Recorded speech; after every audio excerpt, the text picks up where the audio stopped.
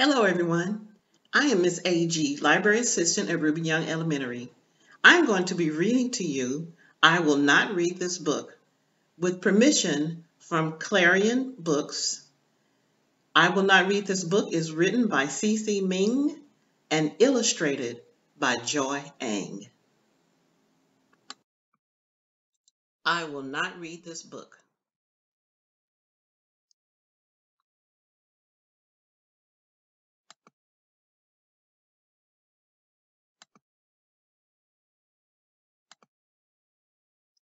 Wait!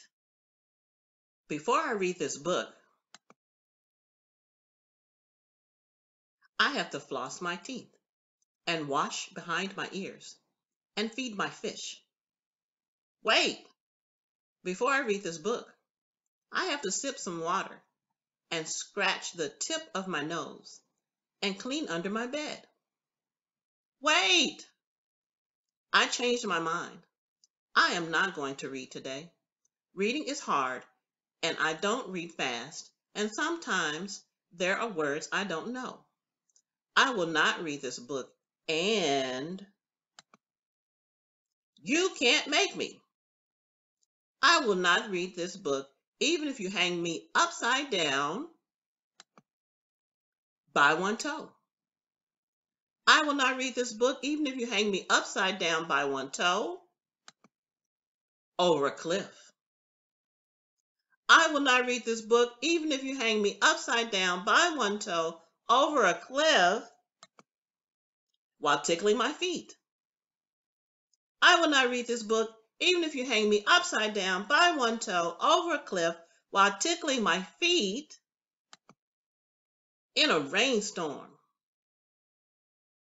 I will not read this book even if you hang me upside down by one toe over a cliff while tickling my feet in a rainstorm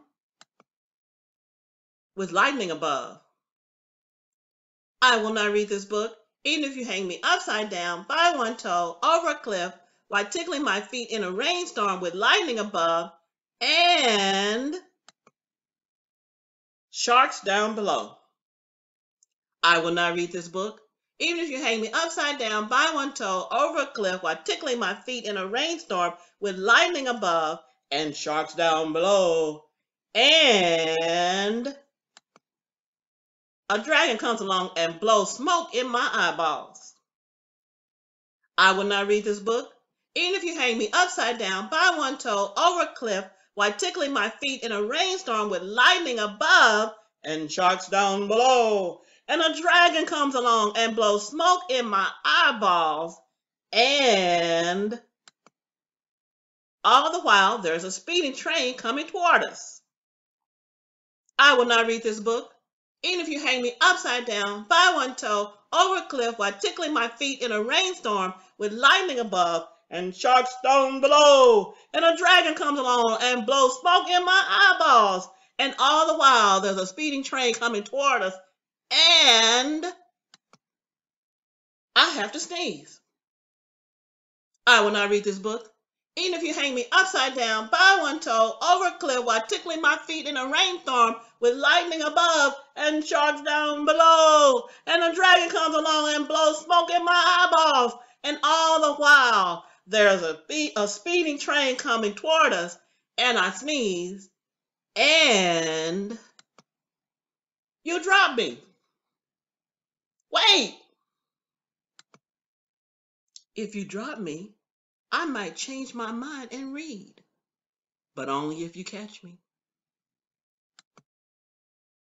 Then I will read this book with you. All right, guys, I really enjoyed this book and I really enjoyed reading it to you. And um, if you would like, I'm going to give you an assignment to go ahead and draw a picture about this book. Give your thoughts about it and share it with your family and friends. And as I always say, happy reading. Goodbye.